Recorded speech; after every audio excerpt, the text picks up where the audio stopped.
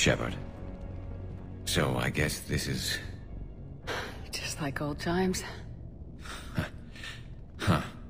Uh, hmm. Might be the last chance we get to say that. You think we're gonna lose? No, I think we're about to kick the Reapers back into whatever black hole they crawled out of.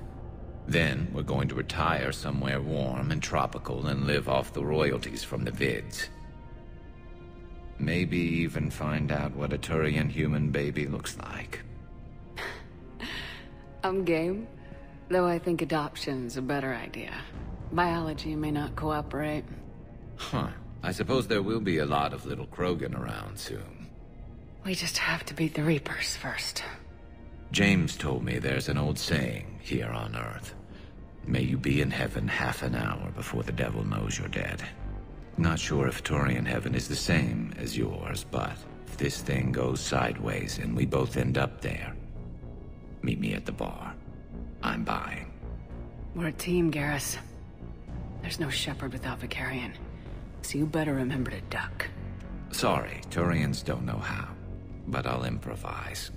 And Shepard, forgive the insubordination, but your boyfriend has an order for you. Come back alive. It'd be an awfully empty galaxy without you.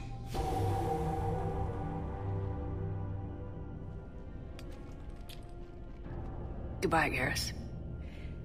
And if I'm up there in that bar and you're not, I'll be looking down.